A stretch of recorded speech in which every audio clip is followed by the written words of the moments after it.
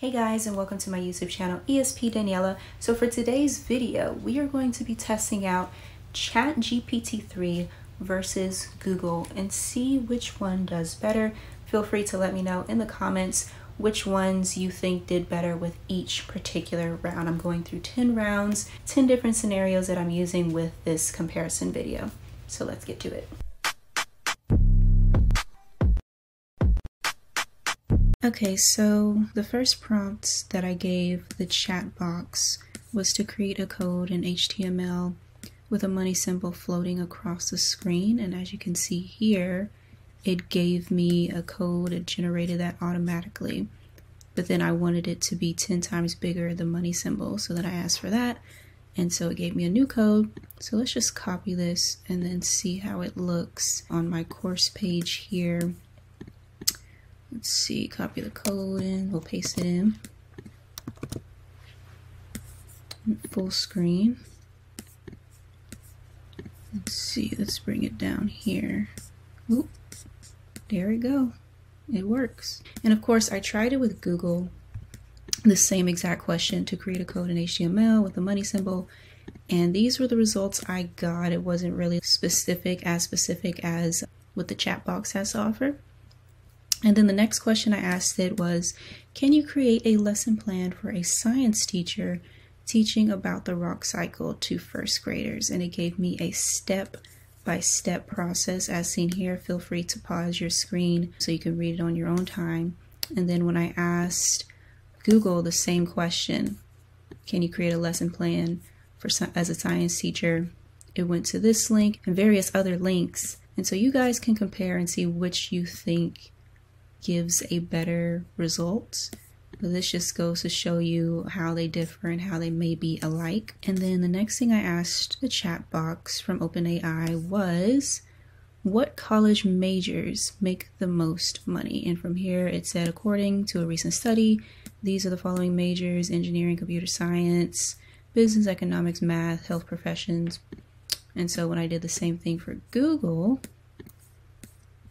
it showed me basically like the same list of majors, so they're essentially pretty much the same with that. Next up, I asked, can you give me a salary range for each of these positions? And so with ChatGPT 3, it gave me a salary range 65 to 75. And so when I put that separately into Google plus salary info, so here it says with ChatGPT 3, uh, salary range for engineering is 65,000 to 75,000. So let's see what this article from Google has to say for engineering. Here's a range 64,000 to 68,000. So they're fairly close with the start of the range, but not so much with the ending of the. range. So that shows you how they differ there with their results.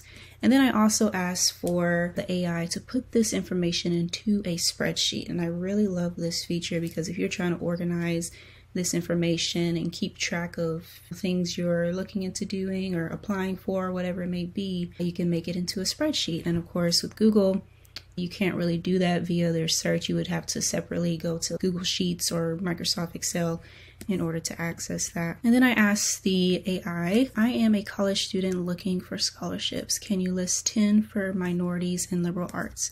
And this is what it showed here. So it's showing me scholarships from the NAACP, UNCF. However, as a black woman, a lot of these scholarships I would not be eligible for because they're for other minority demographics. So then I asked the follow up question of can you have the list of scholarships specific to black students? And then from there, it gave me a different list of scholarships that black students can alone be eligible for or in addition to alongside other minority groups. And so when I compare this over to Google, asking the same questions of scholarships for minorities in liberal arts, this is what it shows. And as you can see, the very first two links that they show me are in fact ads. And this isn't to say that ads you can't win scholarships from them. Like, for example, the Taco Bell Foundation Scholarship, I've had several students win theirs anywhere from $5,000 to $10,000. And by the way, make sure to check my bio description for resources, scholarship resources. That's what my content's mainly about on here. But anywho, let's just go down to this third link here, liberal arts scholarships, and it redirects me to scholarships.com. And as you can see here, what's that? One, two, three, four, five, six, seven, eight, nine, ten. So a little over 15 scholarships, I want to say, for liberal arts listed on scholarships.com. Of course, there's way more than that, but this is like a starter.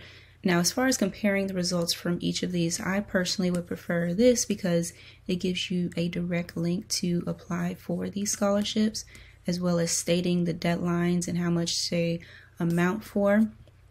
And of course, with the AI, you can ask for it to make this into a table, into a spreadsheet with deadlines. So I asked for it to do that and it gave me deadlines. Now, these may or may not be the deadlines. Feel free to check and confirm on your own because scholarship deadlines, they vary from year to year, so it's always prone to changing, but that's what it showed up for here. So, moving on, the next question I wanted to ask the AI was I'm stuck between choosing engineering or journalism as a major in college. Can you let me know the pros and cons of each? So here's what it showed. It started off with the pros of engineering, followed by its cons, and then also the pros of journalism and its cons. So it gives you a pretty good rundown of the differences between the each pros and cons. Like for example, says engineers often have good job prospects and can earn high salaries. That's a pro of it. And then a con for like journalism. The journalism industry is facing many challenges, including declining revenues and job cuts. And for those who don't know, I majored in broadcast journalism. Yes, unfortunately, that is the case for the industry. So if I were to compare the results this time with Google of engineering versus journalism, First, it gives me this, and this is like a forum type of website where people give their honest opinions or fact based answers relating to certain subjects. And then it references to, it recommends video content to learn from. And so the main difference between ChatGPT 3 versus searching for the same question with Google, because these two majors are so different from each other, engineering versus journalism, you can't really find like a existing blog post that thoroughly provides the pros and cons of each. If I were to instead say the difference between computer science versus computer engineering, I might find something for that. But since these are not that much related, you're not really going to find a one piece of information that has both in it. So moving on, I also wanted to ask the AI a pretty fun type of essay prompt. So I asked it, can you write an essay comparing a masochist versus a sadist in the style of Peter Griffin from Family Guy? And this is what it wrote. Uh, let me read some of it. As a guy who's been around the block a few times, I've seen some weird stuff. And believe me, there's no one weirder than a masochist and a sadist. For those who don't know, a masochist is someone who gets off on pain. They love nothing more than getting smacked around, whipped, or whatever. On the other hand, a sadist is someone who gets off on causing pain. They love nothing more than dishing out the punishment and watching their victim squirm. I can see Peter Griffin saying that. so, of course, when I asked Google the same exact question, I was not expecting it to give a proper response for it. it basically just tells you the differences between sadism versus masochism. So it's not really particular to Peter Griffin because that was very specific. So moving on, I also asked the AI what is the outline of a standard research paper.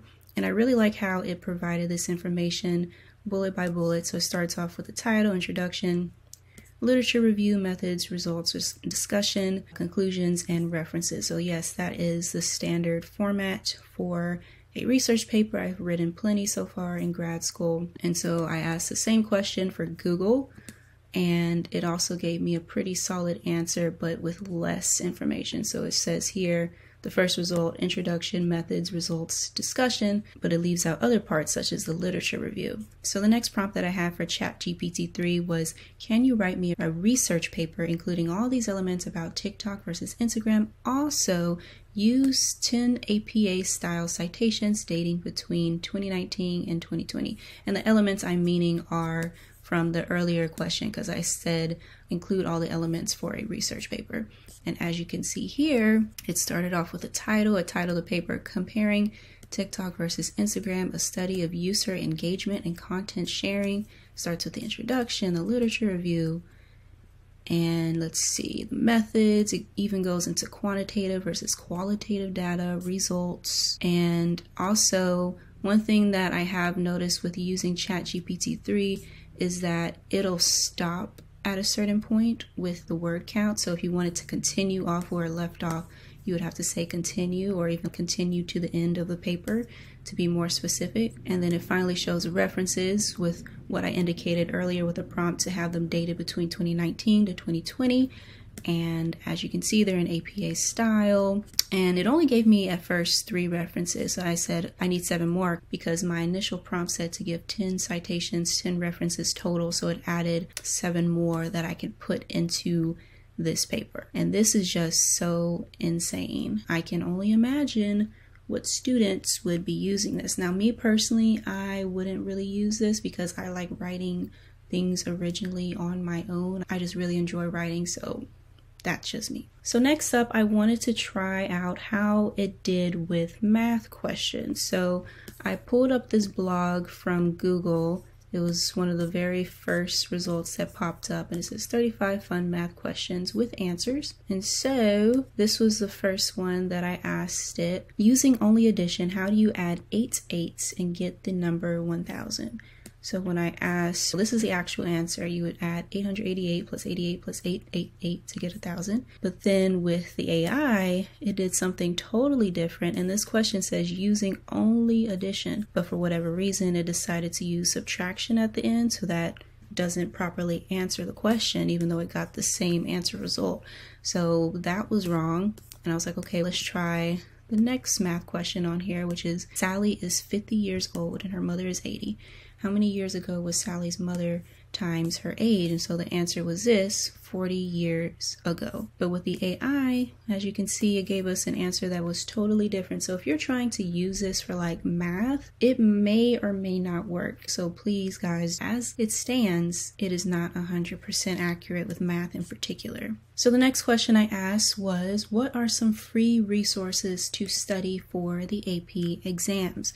And this is what it showed me. So it recommended College Boards, resources, Khan Academy, AP Central, and of course using your teacher and their resources. And then when I went to Google asking the same question of free resources to study for AP exams, the very first result that it showed me was, of course, an ad, a Google ad and finally, you start to see results that are not ads after you scroll past that part. And so, in terms of comparing these two results, I personally would still prefer using Google simply because it hyperlinks directly to these certain resources that I'm needing. Whereas with this resource, the AI, you would have to copy and paste the name of that particular resource into Google or some other search engine in order to be redirected to their website. So it leaves one less step for you to do by using Google. And now for the final question that I asked the AI for this particular video is where online can I find scholarships for graduate students? And ChatGPT 3, it responded that there are several online resources where graduate students can find scholarships, including the following. So it doesn't really show you like a list of websites particular for finding grad school scholarships. Like I know personally that some websites you can use are like ProFellow and GoGrad.org. So it's not really giving you that, but it does give pretty helpful information that you can look from professional organizations and associations, which is really helpful because I personally won several scholarships for grad school from professional organizations. So yes, make sure you're looking into that resource if you're in grad school or even undergrad applying as a current college student, your freshman through senior year of college. And so then when I put that same question into Google for grad school scholarships, again, oh my gosh. the very first four links are all ads. Only when you scroll down do you start to find websites that are not. So if I go here, eight excellent resources to find grad school scholarships from studentloanhero.com, finally you'll see a list well, that's it for today's video. Thank you so much for watching. And also, since you are probably still interested in learning more about ChatGPT 3, I made another video on how and what this means for the future of education, school, students, and so forth. So make sure to check that out. And I also give some advice on how to fully optimize this as a student yourself, if you're a student watching this. Okay, bye.